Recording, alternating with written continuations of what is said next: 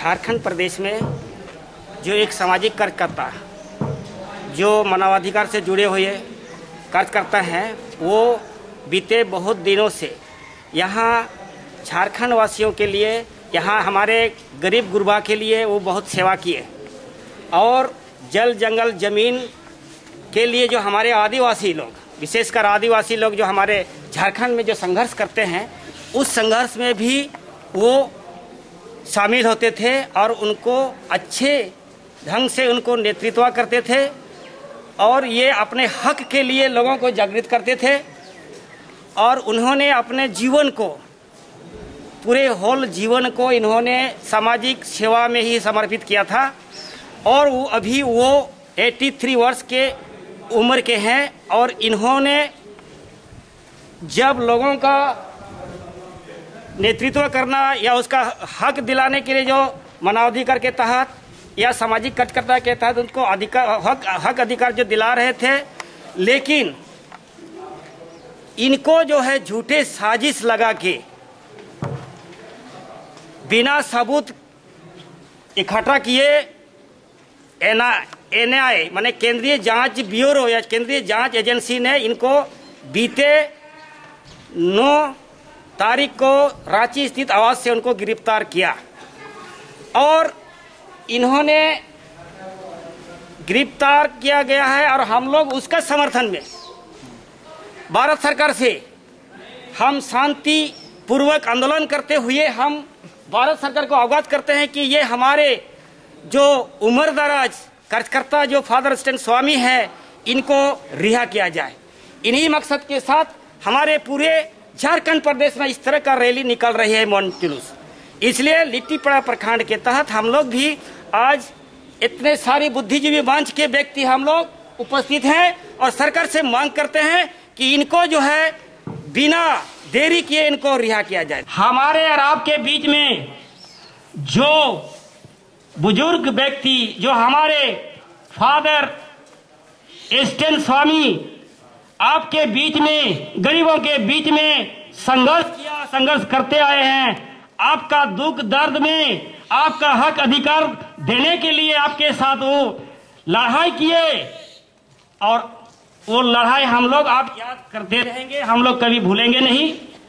और इनको कि किसी को, इनका कार्य, इनका कार्यशैली को हो सकता है, अच्छे नहीं लगे और इनको जो है गलत, झूठ,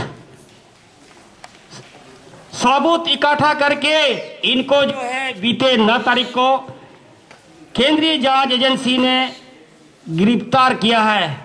क्या जल जंगल ज़मीन के लिए कोई आवाज़ उठाएगा तो उसको भी जेल करेगा? क्या गरीब गुरबा के हक में लड़ाई करेगा, उसको गिरफ़्तार करेगा? ये भारत भारत का संविधान कभी नहीं कहता है। ये भारत का संविधान, आप सभी स्वतंत्र हैं। बोलने का खर्च करने का, हंसने का और काम करने का, विरोध करने का अधिकार आपके साथ है, जो मौलिक अधिकार है। लेकिन, आज किसी को अच्छे काम के बदले इनको जो है अरेस्ट किया। इसका एक ही मकसद है, उनका एक ही मकसद है कि हमारे, जो हमारे देश में या हमारे राज्य में जो गरीब गुरबा जो पिछड़े, जो दबे हुए व्यक्ति का कोई सेवा करता है या उसको कोई अधिकार दिलाता है तो पहले उसको जेल में धुका दो। ये सरासर अन्याय है। तो आप सभी जागृत हैं, आप समझ सकते हैं, समझते हैं। लड़ाई यहाँ तक नहीं। लड़ाई दिल्ली तक करेंगे, जब तक हमारे फादर स्टैन स्वामी को रिहा नहीं करता, हम कभी चुप नहीं रहेंगे। तो भाइयों और बहनों, ये एकजुटता हम साथ में रहेंगे, सच में रहेंगे और हमें ज़रूर सफलता मिलेगी। और आज जो है हम लोग, ये मेमोरेंडम जो हमारी मांग है, उसको रिहा करने के लिए हम भारत सरकार को हम मेमोरेंडम दे रहे हैं कि हम मांग करते हैं कि ये झूठा इल्ज़ाम लगा के जो हमारे फादर को आपने गिरफ़्तार किया, उनको बेइज्जत, उनको बिना शर्त रिहा करें। अन्यथा हम लोग आगे भी लड़ाई करते रहेंगे, इससे उग्र लड़ाई करेंगे।